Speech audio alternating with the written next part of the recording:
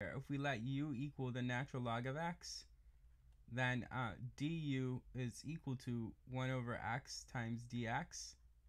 And so then x times du is equal to uh, dx. And therefore the given integral can be written like this. Integral of the natural log of, this here now is u, so the natural log of u, right? And then divided by um, this x here. But then dx is x du, so we go x du here for dx.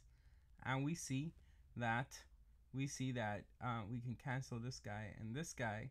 So what we have is equal to the integral of the natural log of u du. Now, in a different video, I show you how to do the integral of the natural log of x.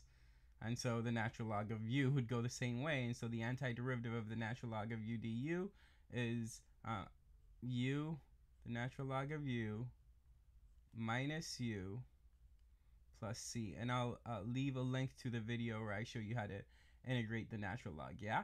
Okay, and of course, um, u here is um, ln x. So our final answer is going to be uh, that this is equal to, this is equal to uh, the natural log of x um, times the natural log of the natural log of x. That's a lot of ln, right? And then minus the natural log of x minus the natural log of x, uh, and then of course plus c, right? All right, cool. Uh, more to come. Keep watching. Take care.